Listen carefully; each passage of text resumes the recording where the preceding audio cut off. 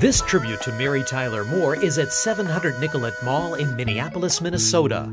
She worked at the fictional TV station WJM TV and put Minneapolis on the map. This iconic hat toss is from the opening credits of the show.